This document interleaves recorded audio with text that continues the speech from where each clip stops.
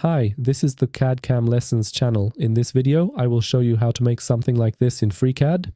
We will do this as an exercise to practice the basic issues related to creating 3D models in FreeCAD.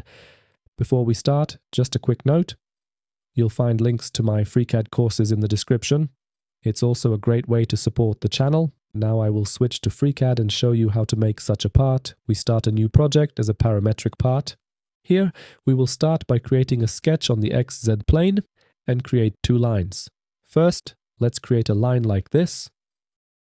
Okay, and let's create a second line like this so that the ends of these lines lie on the x-axis and one line is constrained to the y-axis. I click the right mouse button to cancel the line drawing command. I select the two lines and choose the equality constraint. I select one line and define its length as 50 millimeters. And now I define the distance between these lines as 5 millimeters. Okay, we have something like this. Now I select draw circle and draw the first circle in such a way that the center of this circle lies on the x-axis and the second point is constrained to this point. I draw the second circle such that the center of the second circle is constrained to the center of the first circle and the point of the circle is constrained to the end of the line. We do the same on this side. We draw the first circle like this and the second circle like this. I right-click to cancel the circle drawing command. Here I will immediately add a constraint defining that these two points lie on one horizontal line. Okay. Now I select this circle. I select this circle and press the E key on the keyboard to apply the equality constraint I select dimensioning and set the diameter of this circle to, for example, 35 millimeters. Okay. Now I select draw line and draw a line so that the first point of the line is constrained to this circle and the second point of the line is constrained to this circle. This line should be a horizontal line. If this line is not horizontal for you, apply the horizontal constraint after drawing the line. And here we draw the second line in this way. Okay, so that the endpoints of the line lie on the circles, I right click to cancel the line drawing command. Now I select this point, I select this point and choose the horizontal vertical constraint here so that this line lies in line with the center point of the circle. And here let's do this. We select the line, select the circle, and choose the perpendicular constraint. Next, we select the line, select the x-axis, and here define the angle dimension as 30 degrees.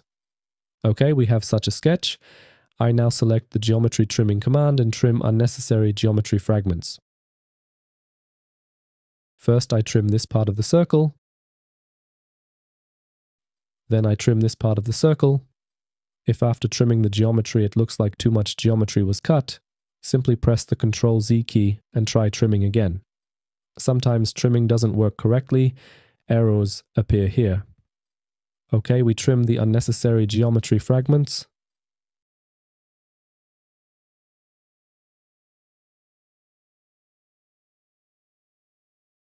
We have such a sketch. We close the sketch and based on this sketch, we create a solid by extruding the sketch to a value of 30 millimeters and here we select the symmetric to plane option.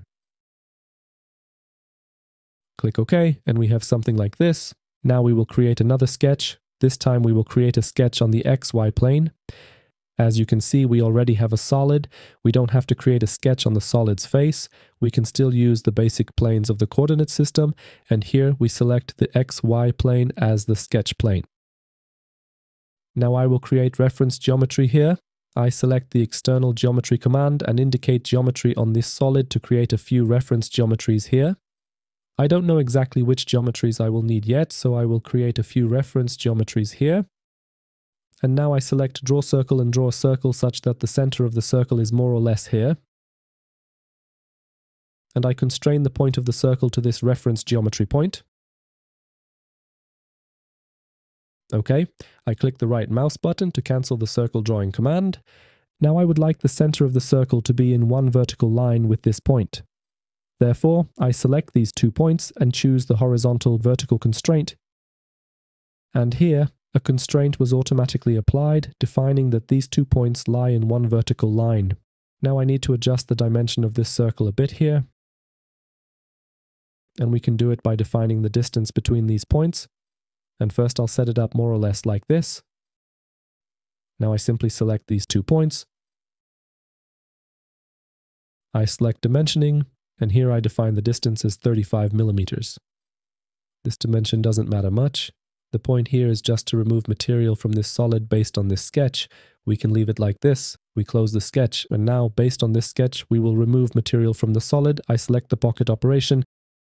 Here I select the through all option and check the symmetric to plane option. Okay, that suits me. I click OK. Now I select this operation. I select the mirror command. And here I indicate the XZ plane as the mirror plane. I click OK and we have something like this. We can add fillets here as well. I select the fillet command and indicate this edge and this edge. Here I specify the radius value as 2 millimeters and click OK. And as you can see, in this relatively simple way, we created such a 3D model in FreeCAD. That's all for today. Thank you for watching and if you'd like more videos like this, consider subscribing.